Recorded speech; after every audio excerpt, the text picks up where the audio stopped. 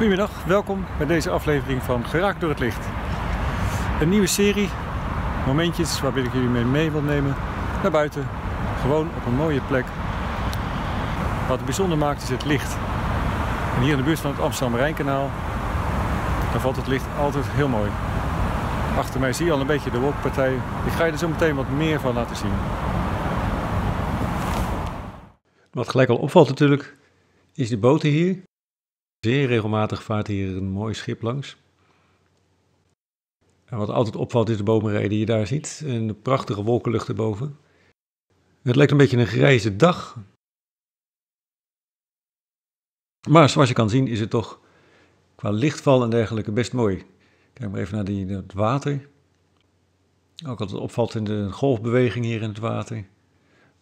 Wat heel mooi kan zijn als de zon daarin schijnt. Dat zie je nu niet helemaal. Je ziet nu een klein beetje het begin van de ondergaande zon daar. Rechts van die boom, boven die andere bomen. Uh, wat ik zelf altijd heel leuk vind hier zijn deze rijboompjes. Als je goed kijkt in het water zie je een soort spiegeling daar van die boompjes. Op de camera, als je daar een foto van neemt, wordt dat nog veel duidelijker.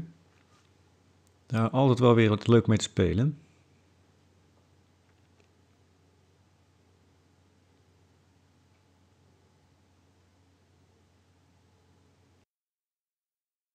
Nou, dan ga ik nog even kijken naar perspectief. Kijk, je ziet hoe de lijn van het kanaal helemaal scheef trekt op het moment dat je de camera wat anders gaat houden. Dat is wat perspectief doet. Dat is lijnen die eigenlijk voor je ogen recht zijn, waarbij je hersens dus als het ware die lijnen recht plaatsen. En lopen natuurlijk ook recht. Zal de camera deze meer scheef zien.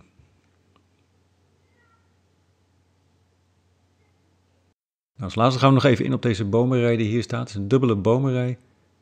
Als daar het licht doorvalt, zeker als er een beetje blader aan zit, ja, dan word ik toch echt helemaal blij.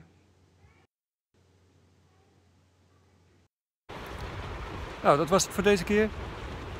Ik hoop jullie nog heel vaak mee te nemen. Dit was aflevering 1 en tot de volgende keer.